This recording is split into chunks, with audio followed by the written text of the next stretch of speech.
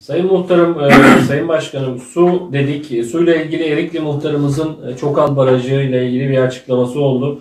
Sizin de o noktada e, engin bilgileriniz olduğunu düşünüyorum. Çokal Barajı ile ilgili gerçekten bölgenin kurtuluşu mu, Saros sahilleri ile ilgili bununla ilgili de e, bir şeyler söylemek Bakın e, onunla ilgili asıl bizim e, Saros'un en büyük problemi şu anda kimse inkar edemez su. Yoldan bile önemli su. Çünkü ihtiyaç. Su hayat. İnsan hayattır. Yaşaması için su hayattır. Onun için ben e, sağ olsun tekrar tekrar söyledim. Necdet Budak'tan Allah bin kere razı olsun. Buraya kadar getirdik. Plan Enez'e kadardı. Ama o zaman e, maddi yetersizliklerden buraya kadar yapıldı. Gökçetepe'ye kadar geldi. Ben tekrar söylüyorum. Bu bölgenin kurtuluşu alçakların ve şeylerin. Ha, e, onun içerisinde ne kadar alınır, hangi depodan onları ben bilemem. Teknik bilgim yok.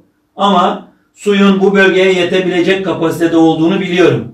Ve şimdi önemli bir şey daha söylüyorum. Bakın biz bu suya sahip çıkmazsak, daha önce planı yapılmış Enez'e kadar olan suya sahip çıkmazsak şu anda Malkara Belediyesi Çokal Barajı ile Gökbüyük, asıl ismi Gökbüyük Barajı. Evet. Bu e, Gelibolu Belediyesi'ne müracaatını yaptı. Malkara Belediyesi ve Malkara'ya suyun belirli bir kısmını tahsis edecekler diye söylüyorum. Suyu kaybediyor muyuz? Evet. Böyle bir risk mi var şu an? Böyle bir risk var şu anda. Bunun- Ve e, daha bir risk söyleyeyim.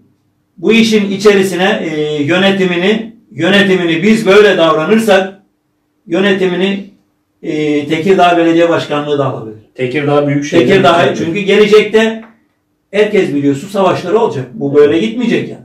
Kesinlikle.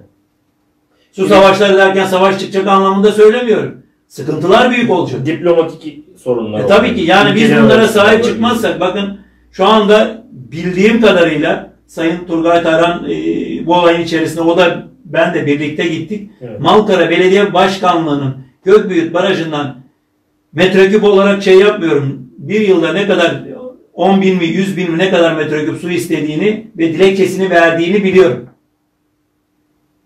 Bunu çalışmalarında pek yakında başlatabilirler ama biz biz böyle bakıyoruz.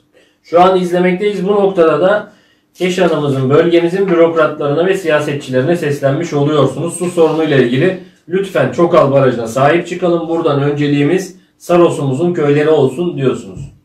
Demekten de öte diyorum e, Evet. biz siyasetimizi, bürokrasimizi yine yapalım. Ama Kendi bunlar bitecek, kendi içimizde yapalım. Fakat açık ve net söylüyorum, yarın biz çocuklarımıza bırakabileceğimiz bir şey bırakmayacağız. Bu şekilde devam edersek olmaz. Bu da üzücü